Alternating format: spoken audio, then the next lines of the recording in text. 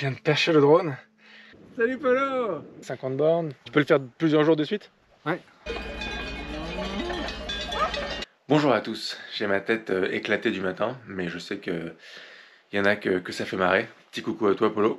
Aujourd'hui, je sors de mon petit chalet dans la ville de Limone Piemonte, dans le Piémont, pour aller faire la fameuse haute route du sel. C'est une route magnifique. Ça va être très sympa. On va descendre, récupérer la voiture. Et c'est parti. On va aussi aller chercher un ami qui voulait le faire en vélo. J'ai encore plus peur pour lui que pour moi. Salut Paul salut Voilà, Le courageux qui, veut- qui va tenter ça en vélo. Pour lui c'est pas grand chose, il fait 50 km de vélo par jour tranquille. hein, mais pour moi c'est déjà un exploit en voiture. Donc euh, Tu crois? Allez, on monte vers le, on monte vers le sommet. J'espère qu'il sera pas trop dans les nuages. Donc déjà pour arriver jusqu'au début de la route du Ah, sel, on est obligé loin. de, ouais, on est, on est obligé de passer par un, bah, on est obligé de monter pendant 12 km délacé. Euh, vous allez voir en image, c'est quand même assez, euh, assez euh, intense. Ici, on a deux chemins. Soit on commence directement la route du sel, soit on passe vers le fort central. Donc on va aller voir le fort central. C'est dommage, il est juste là de pas aller le voir.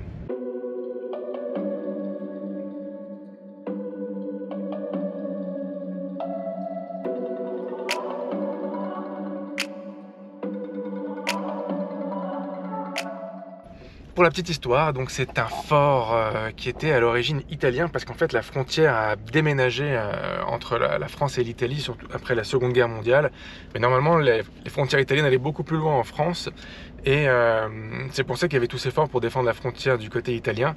Et lorsqu'ils ont perdu la guerre les Italiens, eh ben, la frontière s'est décalée et donc ces forts sont devenus soit du côté français, soit vraiment à la limite limite, mais ils sont devenus désuets.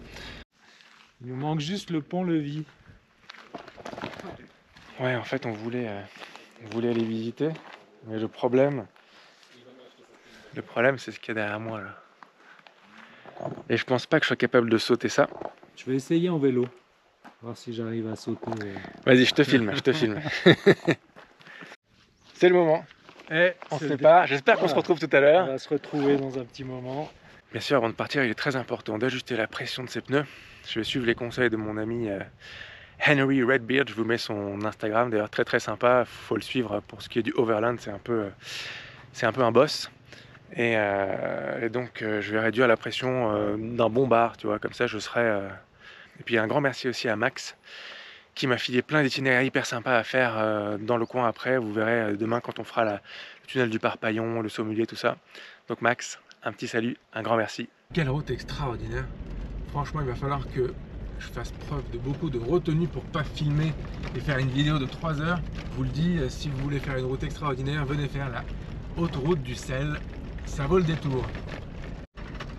Par contre, très clairement, je vous le dis, euh, faut pas avoir le vertige, faut pas avoir peur du vide. Parce que tu es direct sur la route qui passe là-bas au loin. Tu es tout le temps à flanc de montagne. Et là, c'est que le début, ça fait que monter jusqu'à 2500 mètres et euh, bah, t'as jamais de, de rempart ou quoi donc tu tu es vraiment euh, voilà quoi. Là-bas en bas on peut voir les lacets qu'on a fait en montant tout à l'heure. On les voit bien là on est, pour vous dire on est plus haut que le drone où il était quand je les ai filmés tout à l'heure donc faut savoir que c'est une route à péage. Donc en fait moi j'ai réservé le ticket sinon on peut l'acheter ici. Mais le problème qu'on peut avoir c'est que si jamais on n'a pas acheté son ticket euh, on se retrouve euh, bloqué parce qu'il limite à 50 voitures par jour. Alors là, ça a l'air assez calme vu que j'ai croisé personne, mais voilà, je suis content d'avoir réservé mon, mon billet quand même. On a notre petit sticker et c'est parti.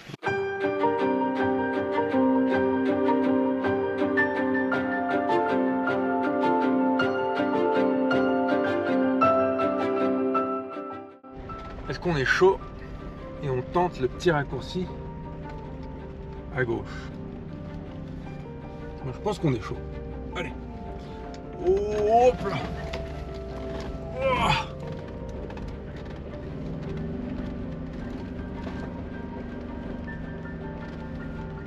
Et voilà. On a gagné au moins 10 secondes là.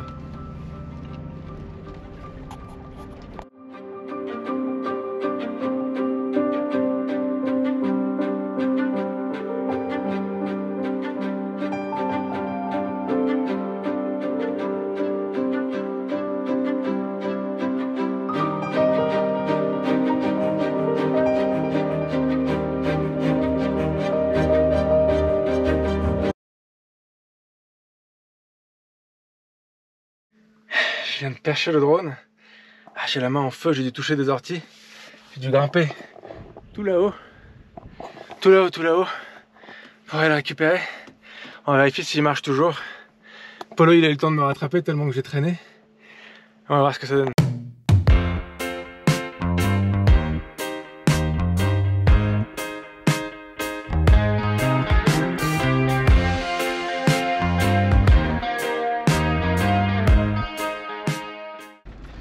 Défense, in my defense, euh, le drone était en mode tracking automatique et il a reculé, reculé, reculé tout seul euh, jusqu'à se- s'écraser dans les, arbres. Et pour les experts, non, j'étais pas en mode sport, j'étais en mode normal, donc normalement il y a des capteurs, mais, euh, il n'a pas capté. J'ai collé le, le classe G à, la paroi, je suis monté sur son toit et j'ai pu monter sur, le début de la pente et après je me suis accroché à l'herbe avec mes mains, c'est pour ça que j'ai cette main qui est devenue toute rouge, j'ai dû attraper un truc qu'il fallait pas. Mais bon, ça en valait le coup parce que voilà la route quoi.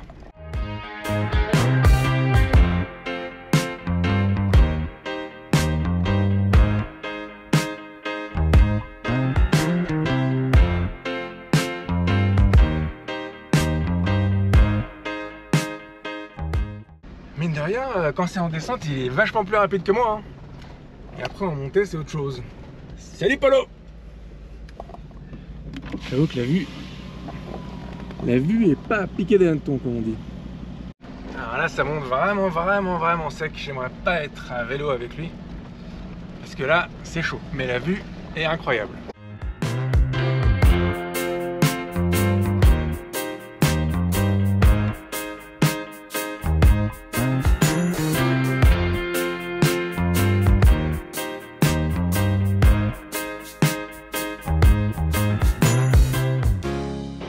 M'apercevoir que j'avais oublié mes lunettes de soleil sur la voiture. Hop Depuis que j'ai perdu le drone, ça fait un bon moment, j'étais tout, tout, tout, tout, tout là-bas. Je sais pas comment elles se sont pas cassées la figure, mais je les ai récupérées.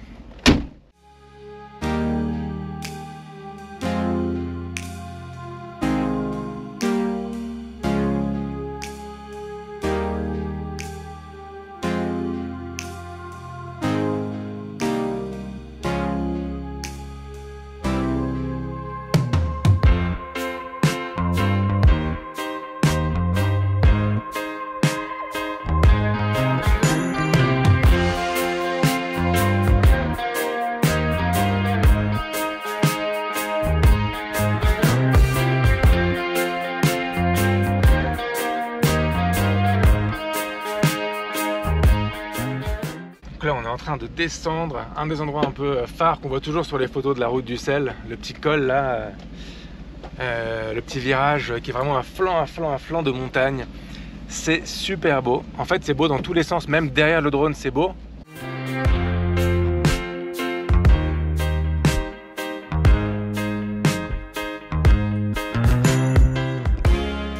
Ah, on croise des amis, des amis belges. Attention.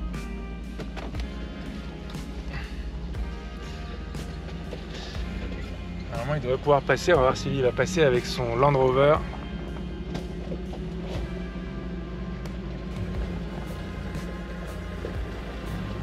Ça passe. Et donc je disais voilà, donc là on voit un peu l'embo- l'embouteillage au niveau du col, c'est assez marrant. La vue est vraiment vraiment incroyable. Je sais que j'arrête pas de le dire, mais vous vous doutez que c'est un peu différent quand on y est par rapport aux images de drone, même si les images de drone, euh, elles, elles rendent bien, hein, mais euh, de le voir en vrai, c'est quand même quelque chose d'assez incroyable. Je vous conseille vivement de le faire. J'adore parce qu'on est littéralement dans les nuages, quoi. Genre, euh, si, si j'envoie le drone un peu trop haut, bah on voit plus rien parce parce qu'on est dans les nuages, quoi. Donc on doit être proche du sommet qui est à plus de 2500 mètres. Il fait 12 degrés, alors qu'en bas il faisait genre 25 quoi. C'est pour vous donner une petite idée. Petit, euh, point d'information pour ceux qui veulent le faire. Euh, c'est surtout une question de pneus, plus une question de gar- garde au sol. Je pense qu'avec un 4x4 normal ou avec un SUV euh, qui a une garde au sol acceptable, je le ferai pas avec un Urus par exemple. Je pense que c'est pas faisable. Mais, mais avec, un, avec un SUV normal, si vous changez les pneus pour mettre des pneus un peu plus cross off-road, parce que le risque c'est juste de crever parce qu'il y a des grosses pierres, mais en vrai il n'y a pas des dénivelés trop incroyables. On peut voir sur notre gauche euh, encore un vieux fort militaire.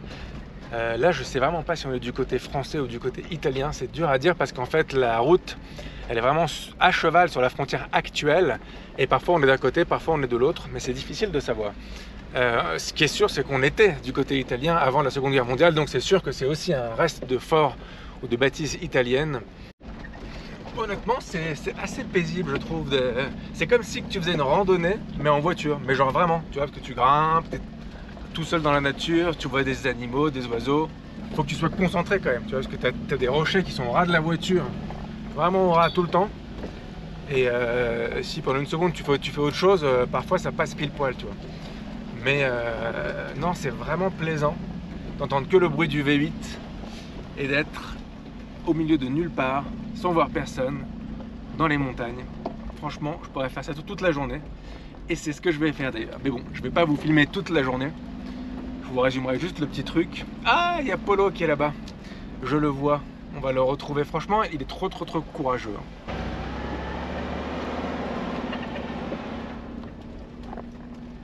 Allez, Polo Il n'y a pas à dire, il est quand même vachement courageux. Hein. Je sais que j'arrête pas de le dire aussi, mais bravo Polo. Honnêtement, quand je vois ces paysages, là, je me dis, Max, si tu me regardes, t'as raison, j'ai envie de mettre une tente sur mon toit, de dormir là et de me réveiller avec ça.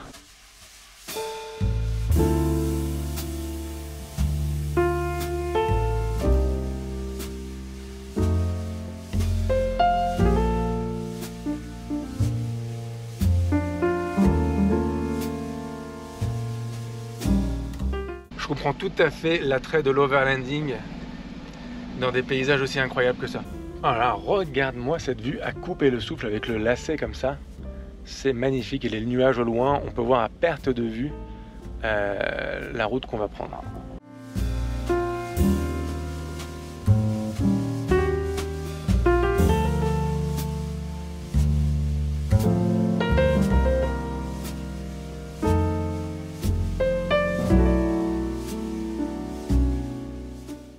Fait, quand je vois ces paysages incroyables et que je vois comment je me sens dans ces moments-là, je me dis, mais qu'est-ce que je fous enfermé euh, dans un bureau toute, euh, toute la journée à Paris à travailler? Je sais bien qu'on ne peut pas toujours choisir, euh, pas toujours choisir sa vie, qu'on doit déjà s'estimer heureux d'avoir ce qu'on a, mais je me rends compte que c'est pas vraiment adapté à moi.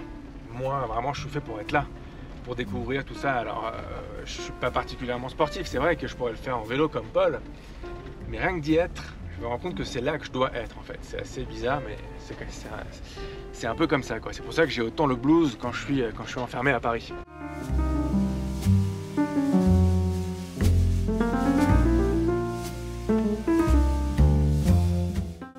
Ça y est, nous sommes officiellement, ça y est, dans les nuages. Euh, on arrive au point, d'après la map, le plus haut, à 2500 mètres de, toute la route du sel. Et on est euh, bah, en plein dans les, dans les nuages. Euh, je pense que ça se passe de commentaires.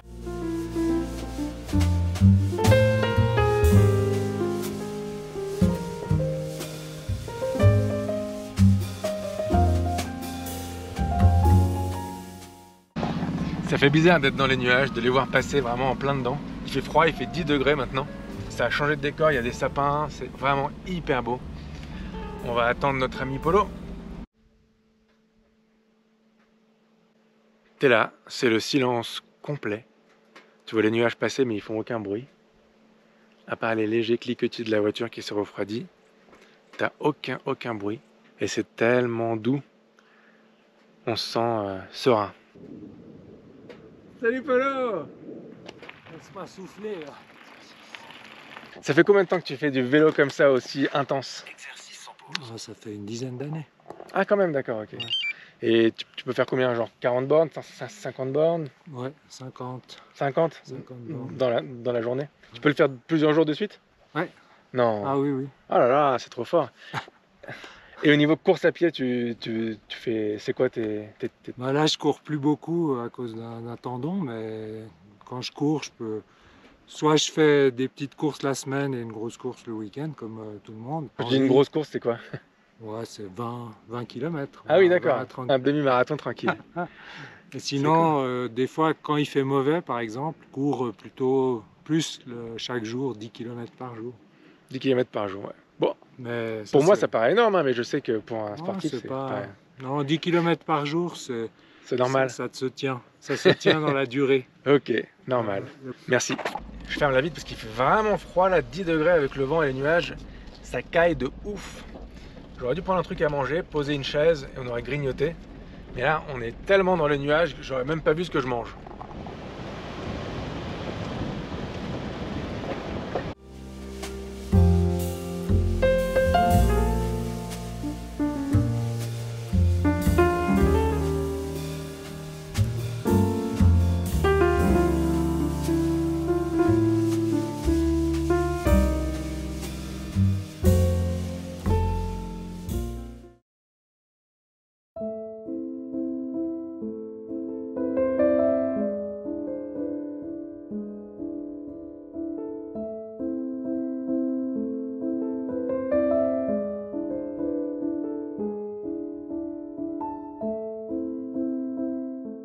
Décors sont assez changeants. En tout cas, j'espère que cette petite vidéo vous aura donné envie de faire la haute route du sel. Euh, si vous avez un 4x4 ou si vous aimez faire du vélo, VTT.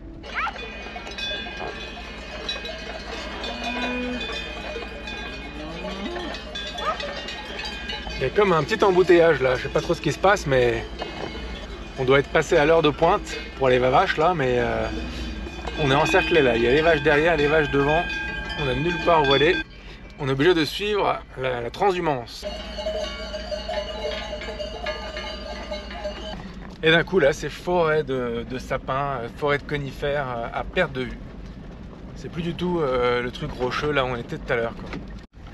Alors pour la petite histoire, la route du sel c'est quoi? Rapidement, c'est une route militaire assez ancienne qui, comme son nom l'indique, servait à faire des échanges de sel entre l'Italie et la France, que le sel c'est une commodité assez importante à une certaine époque. Euh, pour preuve, le, tout premier impôt en France, la gabelle, si je me rappelle bien, c'était euh, sur le sel justement, parce que c'était vraiment une valeur marchande, ça avait une valeur marchande très importante. Là, c'était euh, un moyen de d'échanger cette, cette commodité qui était très chère. D'un seul coup, là, on se retrouve dans Blair Witch Project. Ça fait vraiment flipper. Tu vois les arbres couchés, la brume, la route qui se ressemble et qui n'en finit pas. Moi qui pensais qu'après la forêt, il n'y aurait plus de beaux décors. Paf, tu tournes un virage et d'un coup, tu vois ça. Paul est toujours avec nous. Ça fait 35 km qu'il pédale. Respect, respect. Salut Polo